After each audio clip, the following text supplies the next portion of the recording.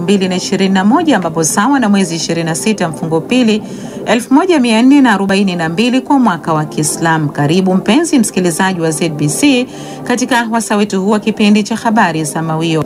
Asubuhi hii ya leo utakuwa nami mtangazaji wako Mwajuma Hamisi nikishirikiana na fundi mitambo Lazaro Joseph, na tulionayo asubuhi hii barazani na TV ikifika usiku wa leo anaenda akiiba akichukua Nikamwambia mke wangu wewe malaya. Sasa mke wangu akaja kumuuliza wewe, mimi malaya umenifunua lini? na udhalilishaji wa watoto bado ni tatizo linaloumiza vichwa jamii.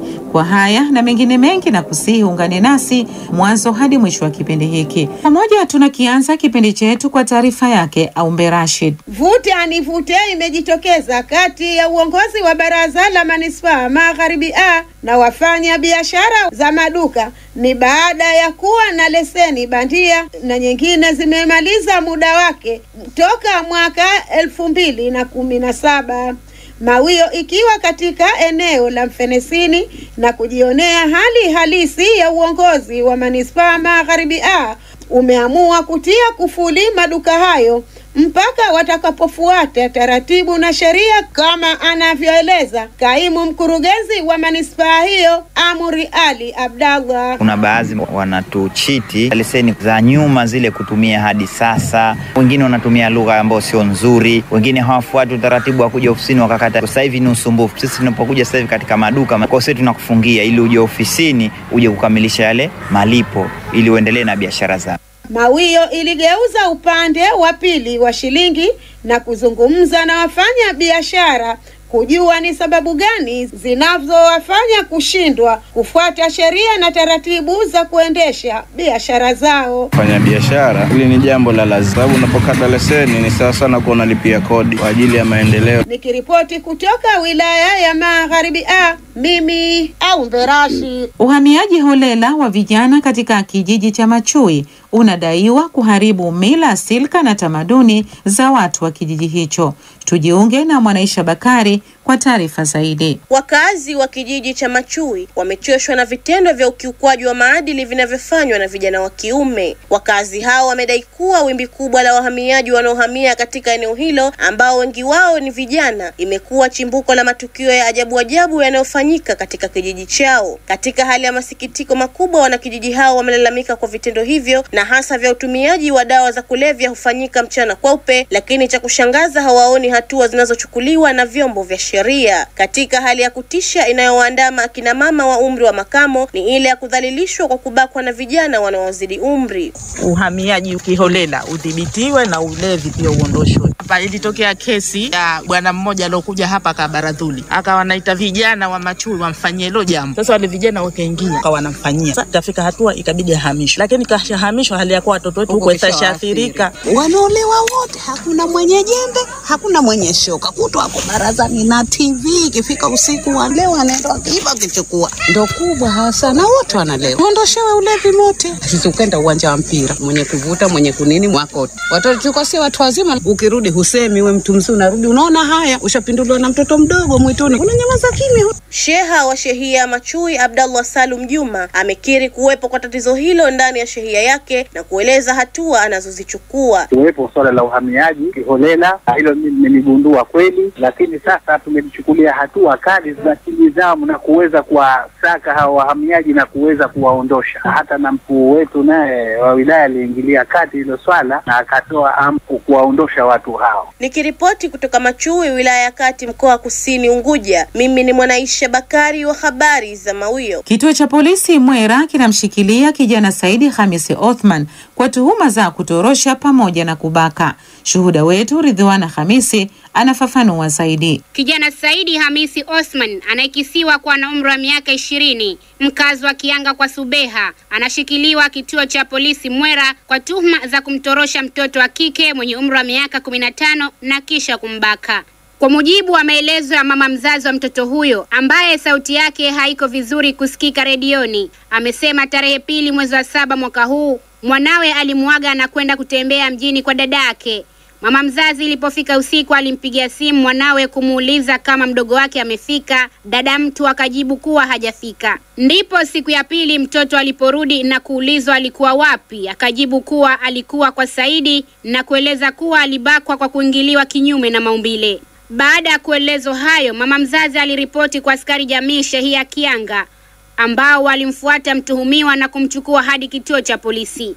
Kijana Saidi anayetuhumiwa alipoulizwa na kipaza sauti cha Mawio kuhusu tuhuma zinazomkabili alikuwa na lipi la kusema? Sasa mimi sijui chochote, ndo leo wakaja mtu tu binafsi, kuna kitu umefanya hivi, kaambia mimi sijafanya hicho kitu. Kwa hiyo mwenyewe kaitwa, akaja pale, kaongea. We alipomaliza nataka kuongea mimi, akakasirika na asimamia ile kesi, ndo akanichukua akaenda kunifunga kwenye mnazi, ndo akaanza kunipiga kwamba wanataka mimi niseme kama nimebaka. Nina ninaweza kalaamini, ukiwa hutaki kusikilizwa sehemu, inakuwa ndo kupata ule uhuru wa kuongea. Kwa upande wa mratibu wa masuala ya wanawake na watoto Shehia Kianga, Nasibu Idi analitolea ufafanuzi tukio hilo.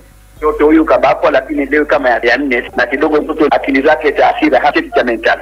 wazee wa mtoto sembotoa maelezo yake na mtoto limusia maelezo yake, kama mratibu nasema bora lifike mbele ya vyombo vya sheria, mtizamo uzito wake. Nikiripoti kutoka Kianga, wilaya Magharibi A, Rizwana Hamisi wa habari za Mawio. Naye Salma Hamis anakuja na taarifa ifuatayo. Saidi Bakari Ibrahim mwenye umri wa miaka 36 mkazi wa Mfenesini aliyeshindwa kuzuia matamanio yake na kumtorosha msichana mwenye umri wa miaka 14 na kumbaka kwa siku mbili tofauti ameanza kuonja mkono mrefu wa sheria kwa kupelekwa rumande. Imedaiwa mahakamani hapo na mwendesha mashtaka wa serikali Sini Naimu mbele ya hakimu cha usiku Kafutikuya kwamba mtuhumiwa huyo amedaiwa kutenda makosa hayo tarehe nne mwezi wa nne mwaka huu kati ya majira ya saa mbili na saa tano usiku na tarehe tano mwezi wa nne mwaka huu majira ya saa kumi na moja na nusu za jioni huko Mfenesini, wilaya ya Magharibi A, mkoa wa Mjini Magharibi. Mtuhumiwa huyo imedaiwa bila ya halali alimtorosha msichana jina linahifadhiwa ambaye hajaolewa na yuko chini ya uangalizi wa wazazi wake kutoka nyumbani kwao na kumpeleka nyumbani kwake Mfenesini na hatimaye kumbaka. Mtuhumiwa baada ya kusomewa makosa hayo amekataa na kuiomba mahakama impe dhamana, ombi ambalo limekataliwa na upande wa mashtaka kwa vile makosa hayo hayana dhamana. Mahakama imekubaliana na upande wa mashtaka na kuamuru mtuhumiwa aende rumande kwa muda wa wiki mbili kesi yake itakapoanza kusikilizwa ushahidi. Kutoka mahakama ya mkoa Vuga, Salma Khamis wa habari za Mawio. Aliyechukua sheria mikononi mwake na kumpa kichapo mwanamama na kumuumiza vibaya ahemea selo ya Bububu.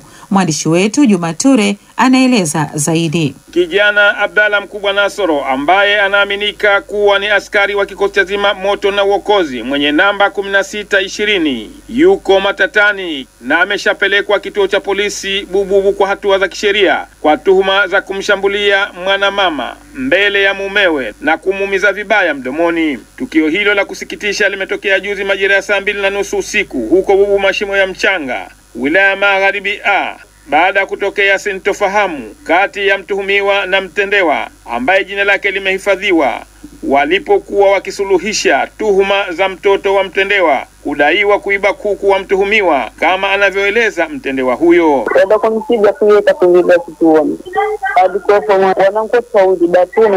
alikuwepo. Watu wengine hawezi kutoa ushahidi, kaandika imepasuka kanishona nje na juu na chini, umepasuka. Kuto kwanza hii shingo mie ndo inauma, picha ya kutafuna. Sasa meno ya mbele kwa na huku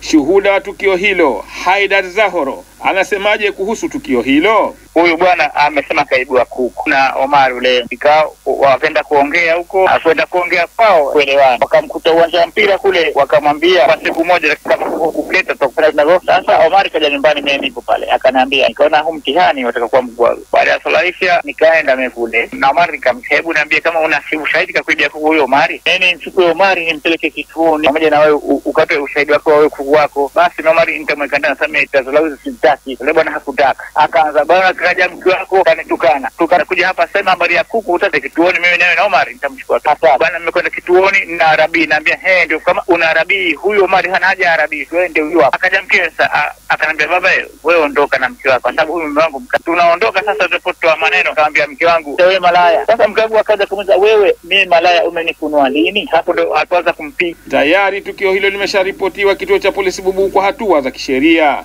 Nikiripoti habari za Mawio kutoka Bububu, mashimo ya mchanga, wilaya Magharibi, Ani ni mimi jumature Takdiri Ali ndiye ambaye anakamilisha kipindi chetu asubuhi hii ya leo.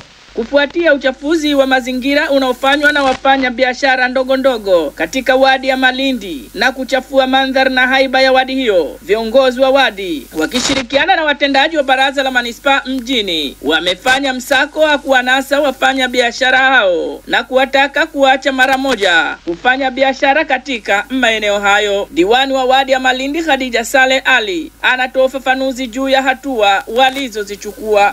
si sehemu ambayo inastahiki nyinyi kufanya biashara. Sawa, mnapita tu na biashara zenu, lakini sio kuweka kambi. Kwa hiyo ninachotaka kuanzia leo, muondoe biashara zenu, mfate sheria, mweke biashara sehemu ambayo mtaruhusiwa. Huu ni mji, ili mji uwe safi, sisi wenyewe ndo tufanye uwe safi. Baadaye mnakaa nyewe mnasema usafi, mwenye kustahiki kufanya usafi ni manispa, sio manispa, sio wenyewe au madiwani. Mnatutupia sisi mzigo, au labda aje rais akwambieni sisi tumechaguliwa kwa ajili gani? Au labda kama kuna mtu ambaye kawaweka hapa, mnambie kuna mtu katuweka hapa tufanye biashara, tuna kibali, mnionyeshe. Kila kitu kinaenda na sheria. Nimeshakwambieni, mkija mkirudia tena, kiufupi, msiweke biashara hapa, si sehemu ya kuweka biashara. Wafanya biashara hao kwa upande wao walikuwa na maoni na ushauri gani kwa viongozi wao wa wadi na hatua walizozichukua?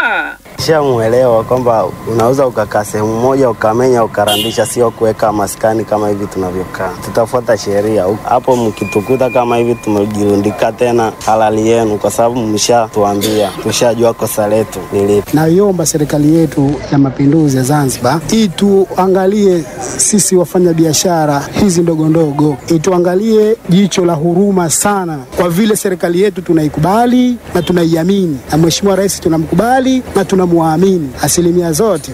Nikiripoti kutoka Malindi kwa habari za Mawio, ni mimi.